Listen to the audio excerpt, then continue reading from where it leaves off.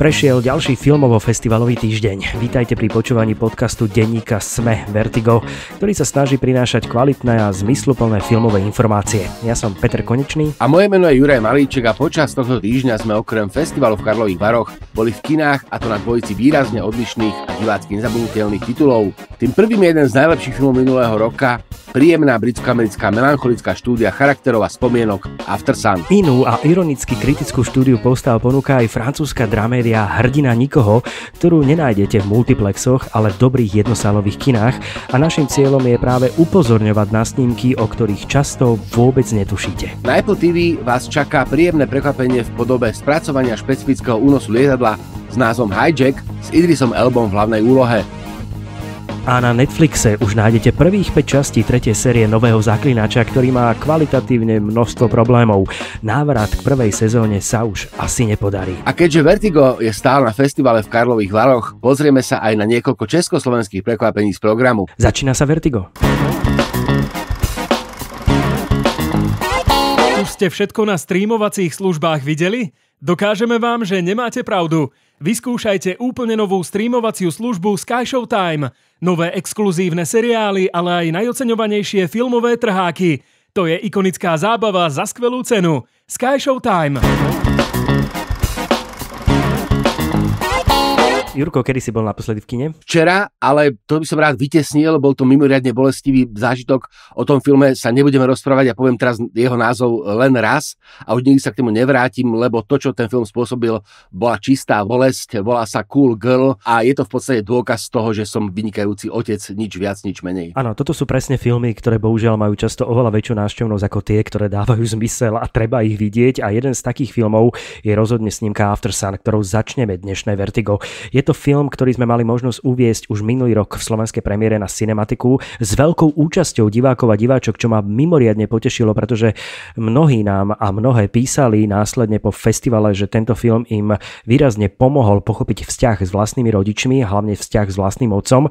A to je pre nás strašne veľmi dôležité, pretože tu sa niečo skvelého podarilo a tento film nielenže patrí medzi najlepšie filmy minulého roka, ale je dôležité ho vidieť na veľkom plátne, absolútne oddychnutý, na napápaný, vyspatý, bez Facebookov a úplne v kľude si užívať to melancholické rozprávanie, ktoré nás vracia do príbehu niekedy v 90. rokoch, kedy sme v tureckom prímorskom rezorte svetkami intenzívneho vzťahu medzi asi 11-12 ročnou Sofiou a jej otcom, veľmi mladým, ktorého inak predstavuje Paul Mescal, ktorý bol nominovaný na Oscara za najlepší herecký výkon v tomto filme a výborná je aj Francesca Corio, ktorá hrá práve Sofiu a my sme spolu s nimi na tej dovolenke, spolu s nimi vidíme ich vzájomné dialógy a časté mlčanie, ktoré je niekedy oveľa silnejšie ako tie dialógy a máme možnosť zažiť tento vzťah, kde niečo je, niečo možno prekvapivé aj pre nich samotných a hlavne z dôvodu toho,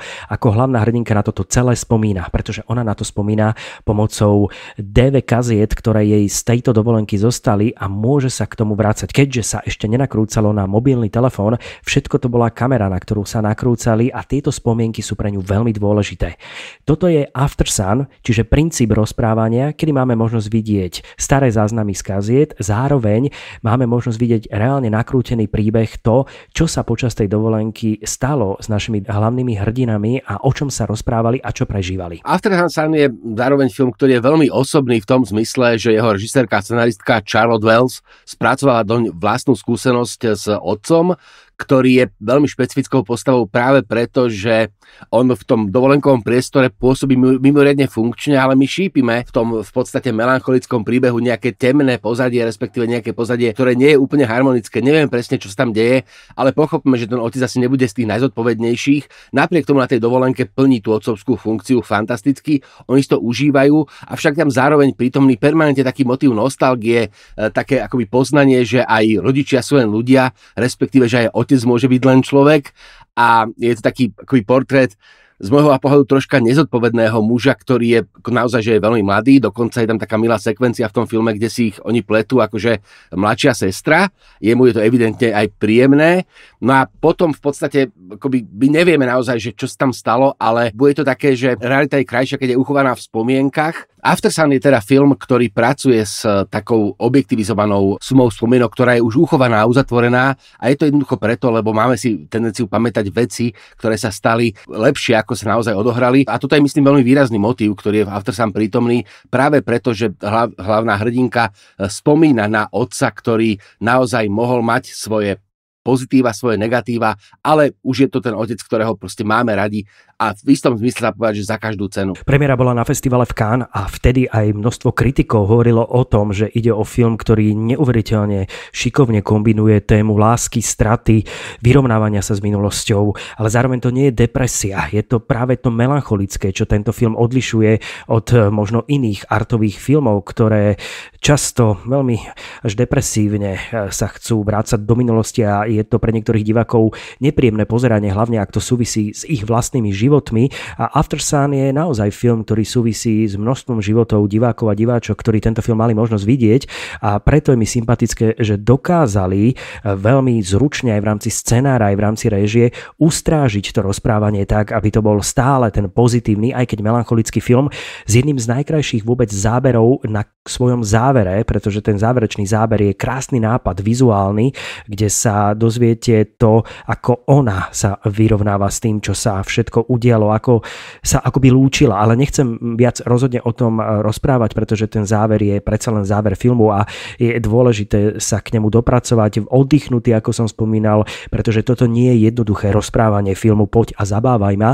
Tento film využíva pomalý spôsob eh, režie, dlhé zábery, eh, pracuje s tým, aby postavy v tom priestore fungovali a mali zmysel a aby sa rozprávali o niečom, čo dáva zmysel, aby ste vy často práve rozmýšľali nad tým, čo tie postavy rozmýšľajú e, a o čom rozprávajú, to je veľmi dôležité. After Sun je moderný artový film, ktorý si rozhodne zaslúži pozornosť a ja som veľmi rád za to, že tento film prichádza aj do kín, aj keď pomerne neskoro, ale že ho budú môcť mať e, práve cez leto diváci e, možnosť vidieť nielen na rôznych filmových prehliadkách, možno aj v súvislosti s nejakými open air predstaveniami, ale aj v kinách, kam tento film rozhodne patrí. Môžeme jednoducho povedať, že After Sun je naozaj letný film, hoci iného strihu, ale letný.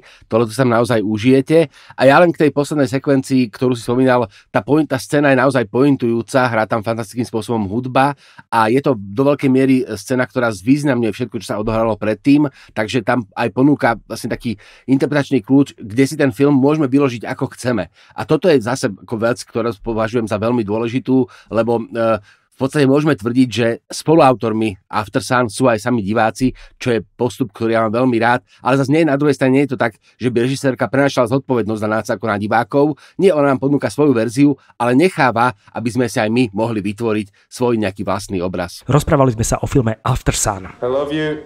Love you.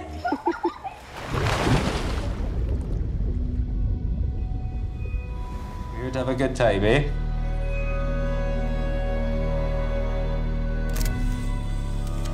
You know, I want you to know that you can talk to me about anything as you get older, you know?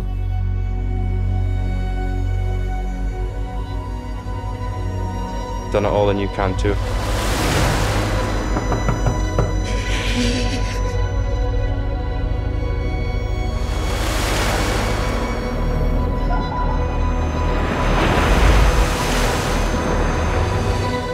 Wish we could have stayed for longer. Me too.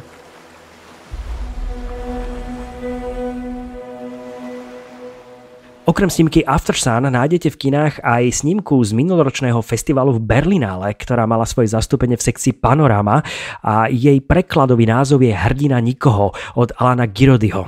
Je to film, ktorý nás hneď uvedie do príbehu okamžite v prvej sekunde, kedy sledujeme dvoch ľudí, ktorí sa absolútne nečakane až tak bresonovsky, godardovsky stretávajú bez toho, aby sa predtým poznali, hneď sa začnú rozprávať a hneď sú si navzájom tak trocha sympatickí, len dôležité dôležité že kto sa vlastne s kým stretáva. Stretáva sa programátor s eh, prostitútkou, ktorá stojí na ulici a on jej povie, že ju jednoducho eh, chce byť s ňou, miluje ju a chce byť s ňou úplne inak ako všetci vtedy, ktorí s ňou boli a že chce to zadarmo, pretože si myslí, že sa do seba vlastne zamilovali v tom okamihu.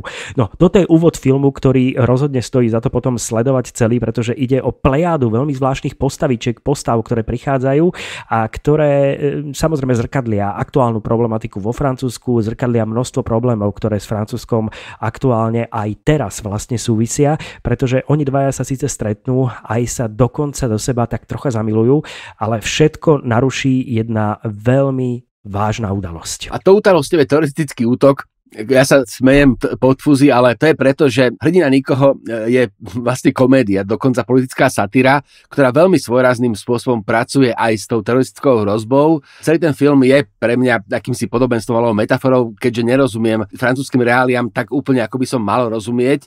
Vo vzťahu k tomu filmu, je to asi dôležité, tak som si vlastne urobil predstavu o tom, že ten film je v podstate metaforou e, striedného rozvrstvenia francúzskej spoločnosti, je tam nejaká high class, nejaká stredná trieda a nejaká nejaká low class, e, teda nejaká akoby spodina, e, pričom tieto tri sociálne skupiny spolu kooperujú prostredníctvom stretu postav, ktoré reprezentujú jednotlivé tieto svety.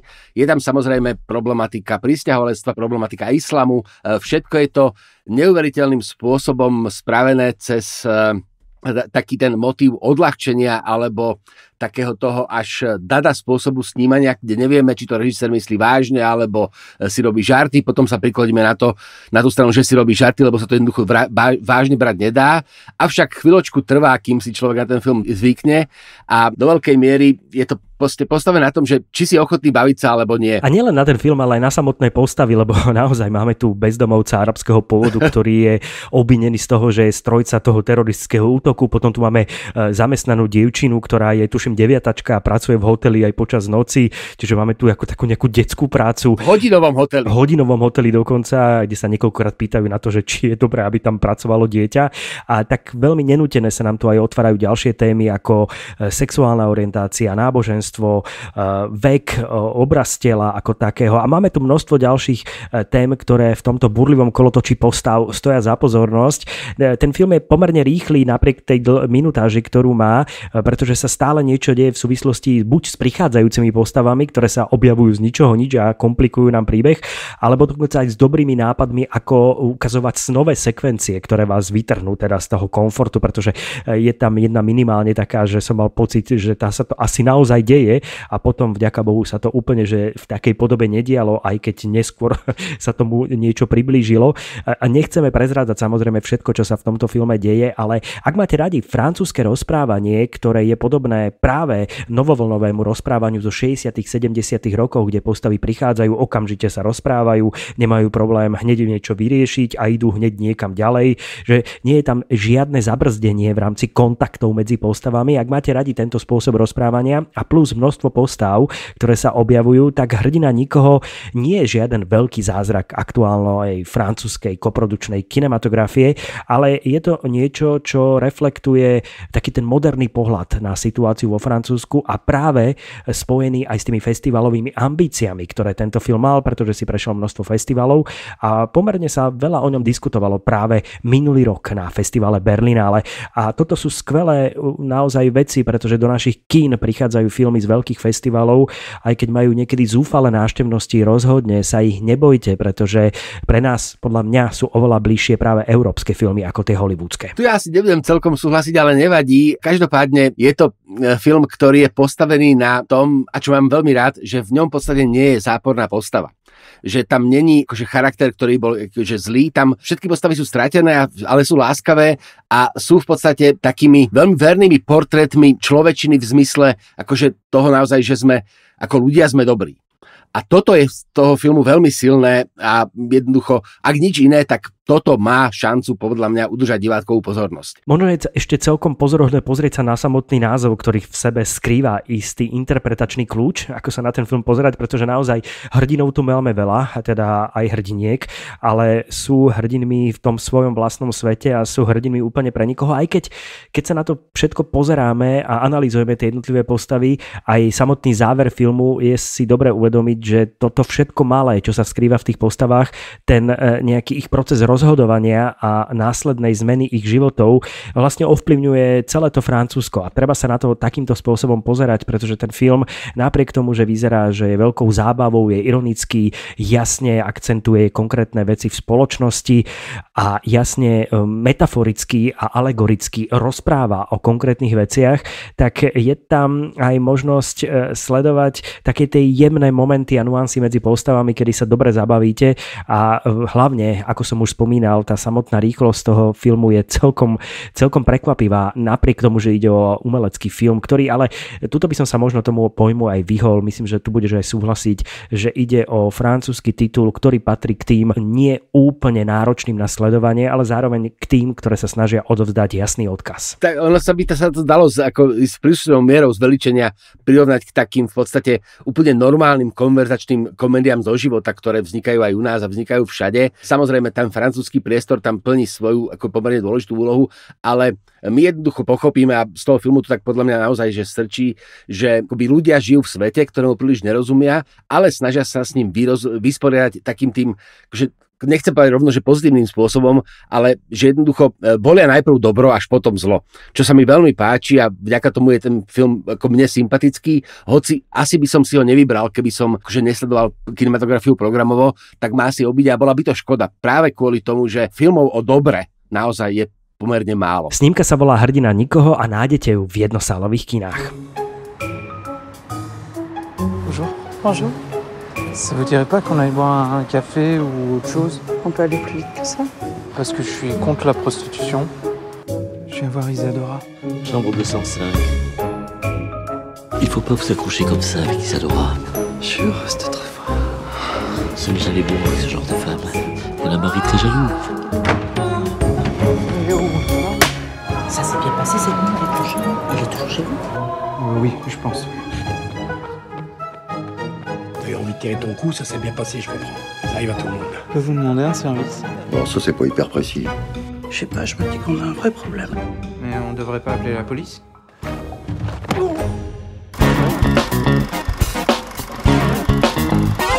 Vertigo, filmový podcast denníka Sme pokračuje a ideme sa pozrieť teraz na aktuálnu ponuku streamingových služieb. V Apple TV nájdeme nový seriál postavený na hviezdnej osobnosti Idrisa Elbu. Ten seriál sa volá Hijack. Nápaditý thriller a veľmi pozoruhodne vyrozprávaný thriller, ktorý sa odohráva v reálnom čase počas letu, ktorý máme možnosť sledovať spolu s celou posádkou a nielen samozrejme s posádkou, ktorá pracuje v tomto lietadle, ale samozrejme aj so všetkými, ktorí sa v lietadle nachádzajú. Myslím, že je tam vyše 200 pasažierov a niektorí majú minulosť, ktorá stojí za to, aby rozohrala celý tento seriálový príbeh, ktorý máte možnosť vidieť v režii Jima Filda Smitha, ktorý napísal aj scenár, zrežiroval teda väčšinu častí. Je to režisér eh, seriálu Litvinenko, ktorý mal tiež pomerne veľký úspech a teraz pre Apple TV urobil na prvý pohľad takú tú klasiku. Máme tu lietadlo, únos lietadla, nejaký balík ľudí, ktorí sú v ňom a poďme rozprávať o charakteroch, poďme sa občas vrátiť aj na na zem, kde vidíme, čo robia ľudia, ktorí sa boja o tých, čo sú hore.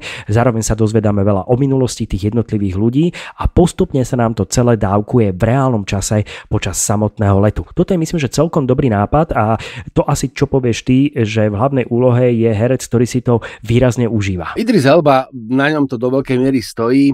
E, čo je ale možno akože zaujímavé, tak e, Idris Elba tu nehrá charakterovo jednoduchú postavu. Vonku sú tri diely zo siedmých, takže v podstate sme stále v prvej polovici a Idris Elba už e, sa prejavil ako minimálne dvojznačný charakter. Samozrejme, všetko to bude inak. Čo by som ja rád akoby tu nás vyraznil je tá krása alebo tá pohodlnosť seriálového rozprávania, lebo film Unos lietadla ťaží z toho naozaj, že je to seriál, že sa nemusí ponáhľať, že môže byť jednoducho veľmi komplexný v detailoch, e, môže sa proste roztiahnuť na minútaž, akú potrebuje a ponúka príbeh, ktorých sme naozaj, že možno už videli niekoľko, ale keďže všetky museli byť krátke, lebo to boli také tie trillery do kín, tak sme nemali čas sústrediť sa aj na tie detaily a bočné motívy. No a toto je to, čo pre mňa urobilo z Hijacka alebo z seriálu Unož lietadla také veľmi príjemné prekvapenie, lebo permanentne je tam napätie. Už tá situácia, proste uniesie sa lietadlo, ktoré letí zo Saudskej Arábie do Británie, tak už tá je sama dramatická.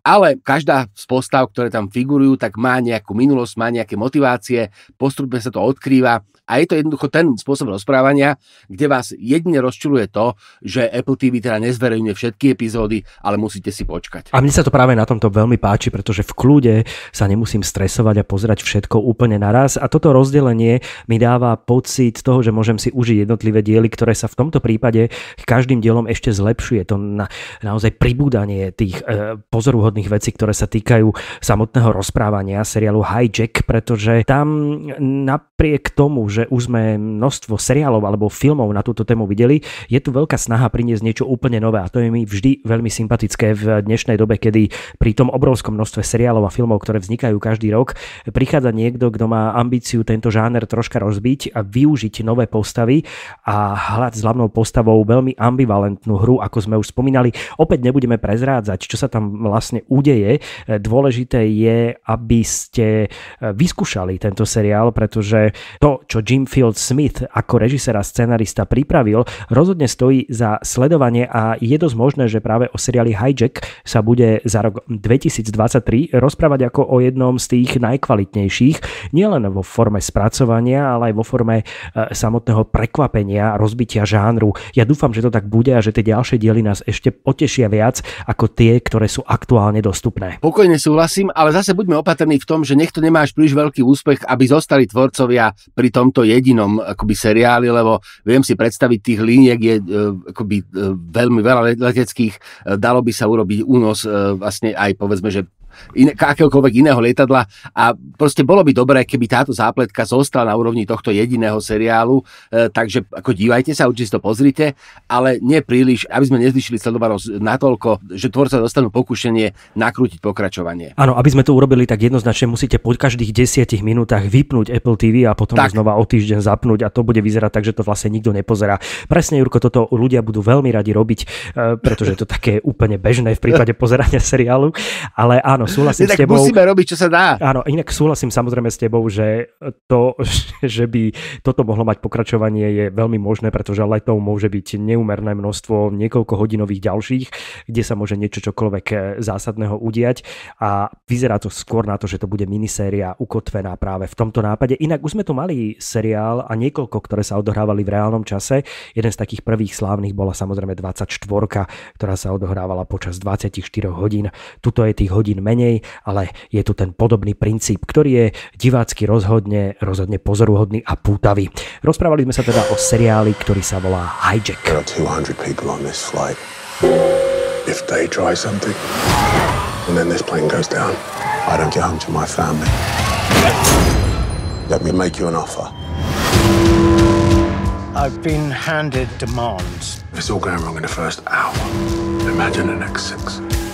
We need to get a message to the whole plane. We just need to be ready.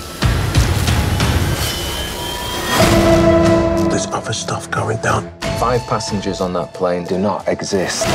It's a network running all across Europe. To them, we're an incoming missile. It's either us or them. And I can tell you, it's not going to be us.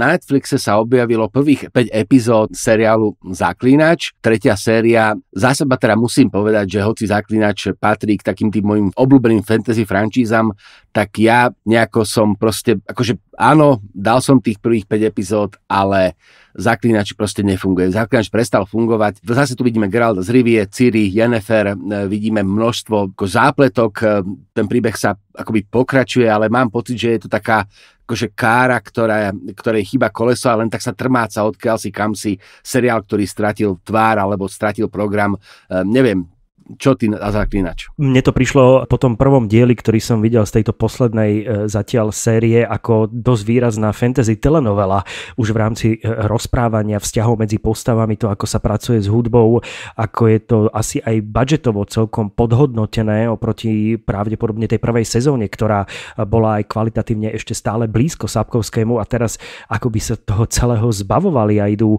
úplne mm, iným smerom aj od odklonu od samotnej predlohy a toto si samozrejme všimlo veľké množstvo divákov, ktorí majú možnosť vidieť tie rozdiely oproti tomu knižnému spracovaniu a toto je dosť aj výrazne kritizované z pohľadu fanúšikov práve tejto ostatnej sezóny, z ktorej myslím, že to je posledná sezóna, v ktorej bude aj hlavný herec, hlavný hrdina, ktorého tam máme možnosť vidieť, Henry Cavill. On myslím, že už skončil v rámci nakrúcania práve seriálu Witcher. Je to tak? Myslím, že áno a skončil úplne opodstatnenie, lebo e, presne ako si spomínal, ja mám pocit, že ten seriál, ktorý začal veľmi svojráznou adaptáciou literárnej predlohy, ale držal sa tých knížiek, tak e, v podstate v druhej sérii stratil tvár minimálne v tom zmysle, že sa snažil osloviť aj hráčov videohier, respektíve podstatne viac sa snažil osloviť e, hráčov z Aklinača menej čitateľov. A teraz v tej linii pokračuje a je to čosi, čo Henryho Kevilla naplnilo takým znechutením, že sa rozhodol nepokračovať a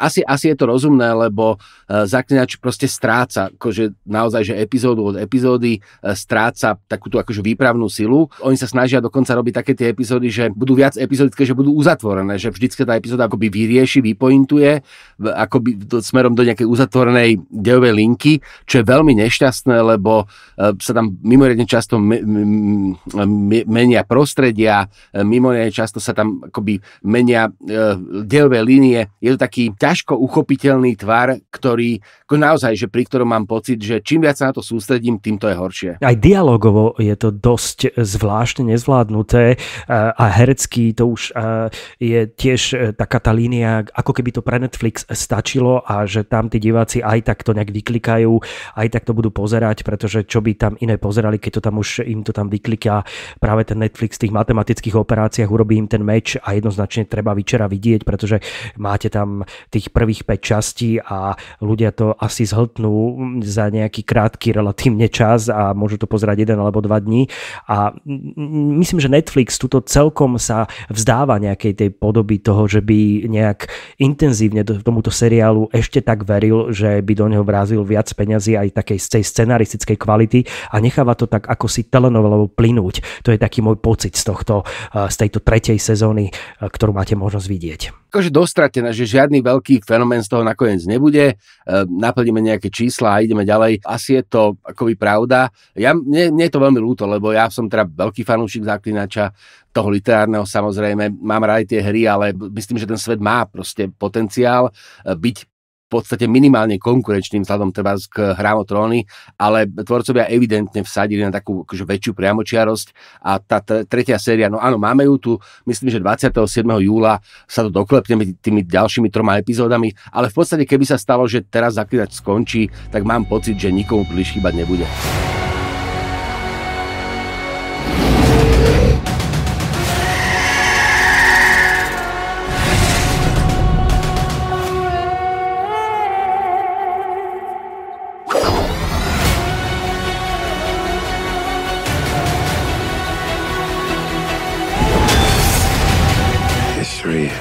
Repeating itself.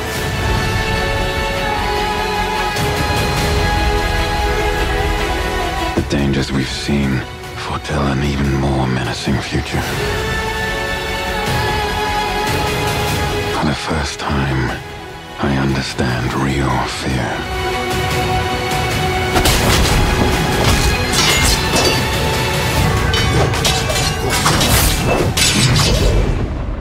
We're witches. Is that sir?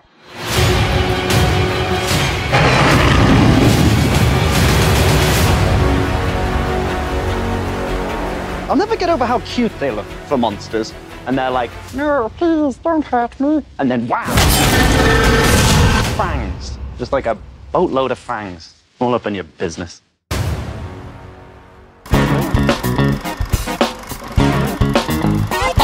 Toľko k takej tej povinnej jazde dnešného Vertiga. My však samozrejme pokračujeme a pokračujeme unikátnou situáciou, lebo ty si stále v Karlových Varoch a máš vlastne festival tak úplne pod kožou, takže poď, čo v Karlových Varoch?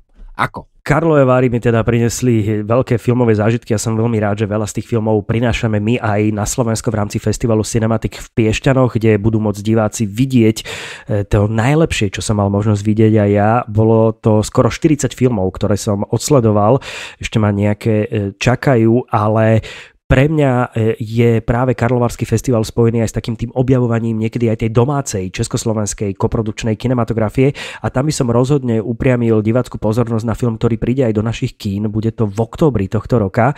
V septembri sa očakávajú už také tie prvé uvedenia a prvá premiéra a je to film, e, ktorý sa volá Úsvit od Mateja Chlupáčka, ktorý e, v tomto prípade debutuje na filmovom plátne. Je to seriálový režisér, seriály ako Terapie z ráci a toto je jeho prvý filmový titul pre kina, ktorý napísal Miro Šífra, slovenský scenárista, ktorý sa v tomto filme mm, vybral do priestoru mesta Svit, v ktorom e, koncom 30. rokov vzniká e, fabrika, ktorá má vlastné priestory, má vlastné ubytovne a začínajú v tejto veľkej fabrike postupne pracovať a vyrábať e, rôzne umelé vlákna a nielen tie.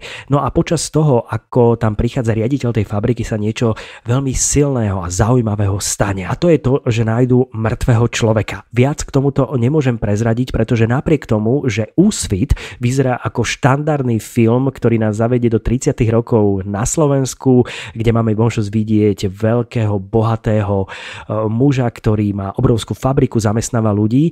Vyzerá to ako taký ďalší epický film z prostredia Československa 30. rokov, čiže sedí e, množstvo kulís, veľmi dobrá práca s autami, je to veľmi náročne vyprodukované, ale do toho prichádza téma, ktorá je bytostne spojená aj s tým, čo aktuálne žijeme teraz a tu. A týka sa veľmi dôležitých smien v spoločnosti, ktoré by bolo úžasné, ak by sme vedeli nielen my, čo ich vieme akceptovať, ale hlavne tí, ktorí proti ním bojujú.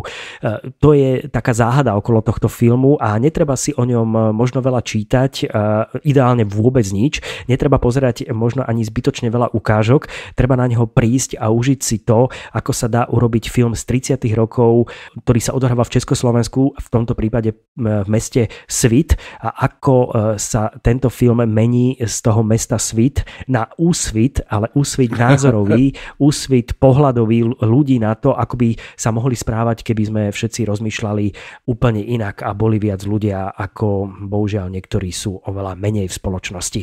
A empatia, ktorá chýba množstvu, množstvu ľudí. A toto je presne film o tom. Veľmi dôležité, veľké prekvapenie pre mňa. Dokonca v Karlových Varoch vypredané úplne všetky projekcie, obrovský záujem o tento film, e, ktorý napísal slovenský scenarista Miro Šifra. To je dôležité povedať. No ja sa pozerám do toho obsadenia, že vidíme tam Milana Ondríka, Mariana Mitaša, takže je tam aj tá slovenská herecká prítomnosť. E, jediný taký dotaz, ktorý mám samozrejme k úsvitu, je, e, teda, ako to je s Baťom nie je to film o Baťovi, netreba sa báť toho. Nie, nie, nie, je to len inšpirované tým, že je tam pán továrnik, ale toto nie je téma tohto filmu. Hlavnou hrdinkou príbehu je žena, to je dôležité povedať, aj to Eliška Kšenková, vynikajúca česká herečka, ktorá hrá v takých tých mimoriadne dôležitých českých filmov ostatných rokov a ona si to uchopí celý ten priestor pre seba a rozprávanie ide priamo cez ňu. Aj to je zaujímavý scenaristický model, pretože práve ako si spomínal, veľa ľudí od toho filmu očakáva niečo úplne iné, ako dostane. A to je na ňom to najkrajšie. Někomu musí hodně vadit, co tady budujeme. Akce! Co zatím podle vás stojí? Ktokoľvek. Neúspech českej fabriky sa hodí mnohým. Co se říká? Že v areálu se objevil monstrum.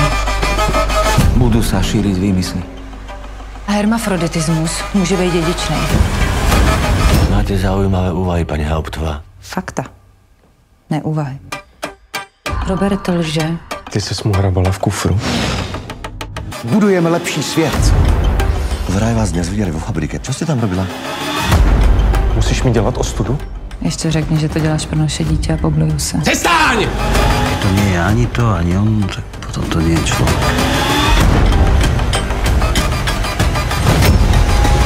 To vám řekl Kamil.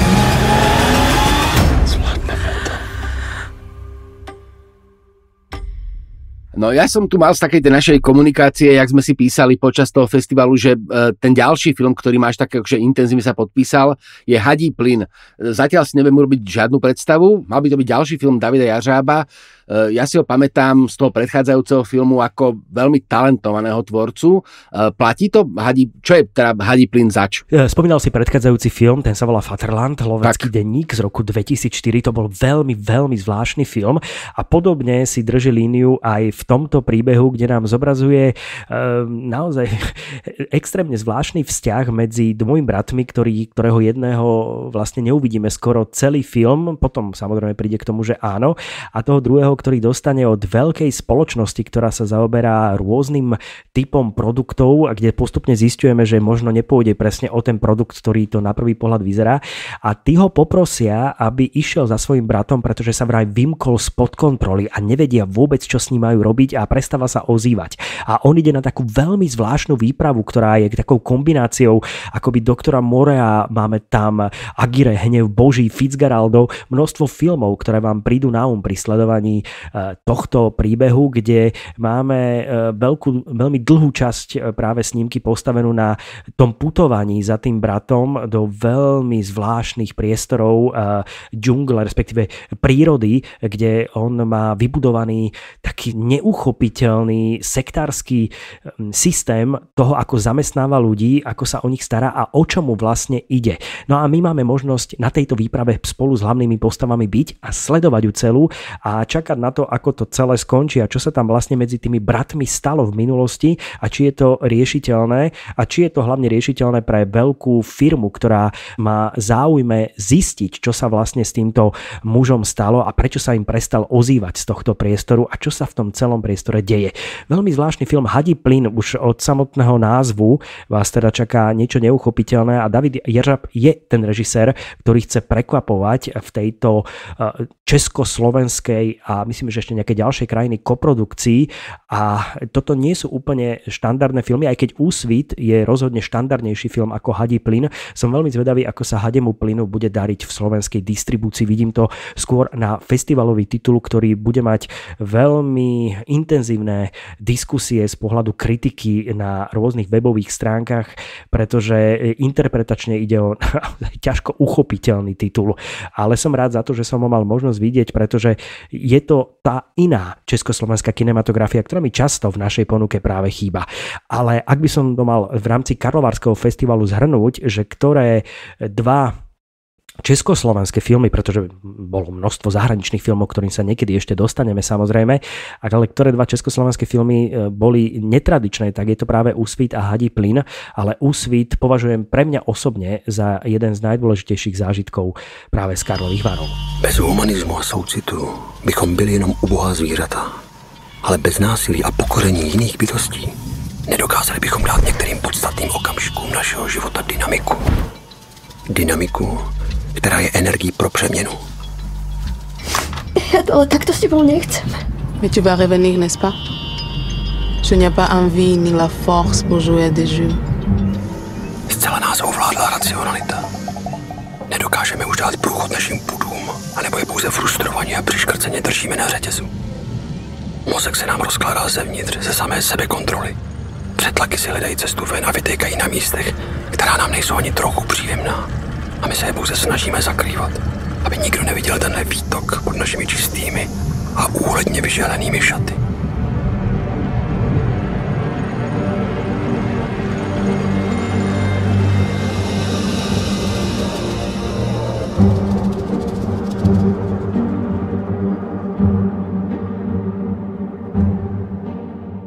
Peťo, nedá mi to v tých varoch. Ja viem, že ty ten festival absolvuješ iným, iným spôsobom ako dominantná časť eh, divákov, teda že si ideš po svojej dejovej linke, ale nemôžem sa nespýtať, ako blízko sa dostal k Russellovi Crowe. Zahľadol si ho aspoň, respektíve úplne to obišlo, alebo boli ste aspoň v nejakom priestore chvíľočku spolu? Boli sme v open air priestore chvíľočku spolu, asi na vzdialenosť 100 metrov a bol som na jeho koncerte, ktorý bol na úvod festivalu a inak to bol veľmi dobrý ťah z pohľadu organizácie, pretože Russell Crowe uviedol film, celkom, respektíve bol na otváracom ceremoniáli, dostal ocenenie a potom si odbehol o polnoci alebo nejak pred polnocou spraviť veľký koncert pre tisíce ľudí, ktorí boli pred Termalom a mali možnosť vidieť koncert, ktorému som ja do začiatku tak jemne neveril, že ako to dopadne, pretože bola to tá kombinácia toho country westernu a toho štýlu hudby, kde Russell Crowe tak veľmi opatrne spieva v istých momentoch, ale mal výborných štúdiových muzikantov, ktorí to odviedli úplne parádne a bolo vidieť, že si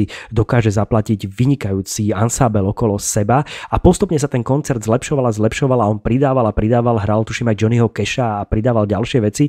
A bol to veľmi dobrý ťah z pohľadu organizácie, že máš e, herca, veľkú hviezdu, ktorá ti zároveň urobí aj dobrý koncert a máš pokrytý kompletne otvárací ceremoniál aj s veľkým ohňostrojom, ktorý išiel priamo do poslednej skladby e, od Rasla Krava, ktorý sa lúčil s tým otváracím ceremoniálom aj tou poslednou skladbou, ktorá bola priamo spojená aj s tými zvukovými a vizuálnymi efektmi. Takže dobrý ťah. No super.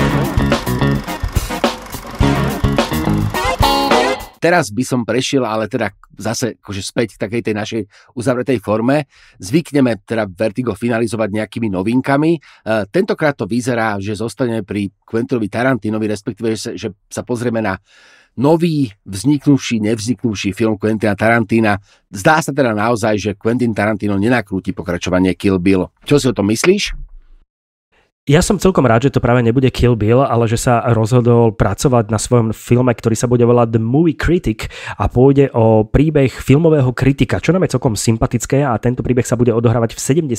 rokoch. Toto podal sám Tarantino v jednom zo svojich ostatných rozhovorov a e, to som na to veľmi zvedavý, pretože on má filmovú teóriu veľmi rád a má množstvo filmov napozeraných a to, že sa chce venovať filmovej kritike je eh, určite z jeho pohľadu aj niečo, čo bude o ňom samotnom, ale zároveň mám troška aj obavy, že či to nepôjde, nebude mať snahu trošku filmovú kritiku e, si z nej robiť srandu alebo ju nejakým spôsobom znevažovať, aj keď sa mi to nezdá pravdepodobné. Vôbec si to neviem predstaviť, že ako bude vyrozprávaný z Tarantinovského pohľadu film o filmovom kritikovi. Ty máš nejakú predstavu? Uh, vôbec nie. Práve rozmýšľam nad tým, že ja, lebo rozmýšľam nad tým, že či som vôbec videl nejaký niekedy film o filmovom kritikovi Uh, okrem polskej takej obskurnosti, ktorá sa volá Superprodukcia, si nepamätám, že by som vôbec nejaký film o kritikovi videl. Možno, že sa akoby kritik postavil ako, ako objavil ako vedľajšia postava, ale že by bol v centre diania, akože nič také uh, ma nenapadá. Mne je troška ľúto, že uh, Kill Bill 3 teda nebude uh, z Tarantinovho pera, ale ono to asi nevadí, lebo uh, ten film nakoniec bol rozdelený, bol to jeden film rozdelený na dve časti, takže asi by to bolo také akože ako varenie z vody. Uh, rozhodne som zvedavý predovšetkým preto, že uh, my vieme, že tá Tarantino sa vlastne presadzuje aj ako spisovateľ a v podstate máme akože už zo pár takých akože motívov, kde vieme, že napísal román, vtedy v Hollywoode, ktorý vlastne rozvíja ten jeho predchádzajúci film. Teraz mal takúto knižku, ktorá ako vyzerá veľmi zaujímavé o filmové eseje, ktoré sa týkajú, povedzme, že jeho pohľadu na film, alebo nie je to beletria, ale knižka, ktorá v podstate tak akože popularizuje film a zdá sa mi to akože dobrý krok, aj keď ako hovorím, neviem si predstaviť ako to bude postavené. Určite, ale tento film, ak bude ešte existovať Vertigo, budeme rozoberať, pretože jeho premiéra je zatiaľ naplánovaná na rok 2024, čo v prípade Tarantina ale nemusí byť úplne presný údaj. Tam je tá možnosť posúvania toho filmu e, celkom ako otvorená. Uvidíme, ako sa mu bude dariť. Zatiaľ sú iba e, naozaj neoverené informácie ohľadom nakrúcania, nevieme ani herecké obsadenie, nevieme ani ďalšie veci, ktoré súvisia s prípravou filmu.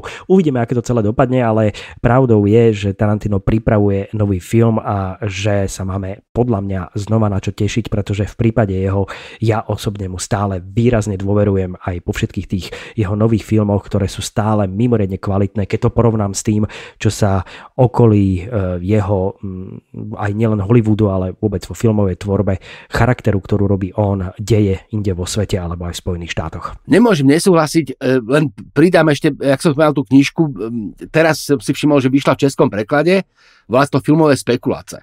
Takže Quentin Tarantino filmové spekuláce, podľa všetkého je to aktuálne nový preklad, akože nová knižka. Je to tá kniha, ktorá vyšla v Spojených štátoch pred dvoma rokmi alebo pred rokom a je to vlastne akoby Tarantinovo popularizovanie o filme, alebo Tarantinovo písanie o filme, literatúra nebeletria, Quentin Tarantino filmové spekulácie, aktuálne nový preklad. Zdá sa teda, že Tarantino bude pokračovať v tej línii popularizácie filmu a nakrúti film o kritikovi. Myslím, že sa môžeme tešiť. Aj dnešnú epizódu Vertiga pre vás pripravili Peter Konečný a Juraj Malíček a samozrejme aj naša supervízorka Janka Maťková a majster streamu Michal Jurik. Ak nám chcete napísať pár pekných slov, budeme sa tešiť na mailovej adrese vertigo.sme.sk a rovnako nás potešíte, ak nás ohodnotíte vo svojej podcastovej aplikácii, aby sa nás našli aj ďalší filmoví fanúšikovia. Do počutia v podcaste a dovidenia v kine. Už ste všetko na streamovacích službách videli? Dokážeme vám, že nemáte pravdu. Vyskúšajte úplne novú streamovaciu službu Sky Showtime. Nové exkluzívne seriály, ale aj najoceňovanejšie filmové trháky. To je ikonická zábava za skvelú cenu. Sky Showtime.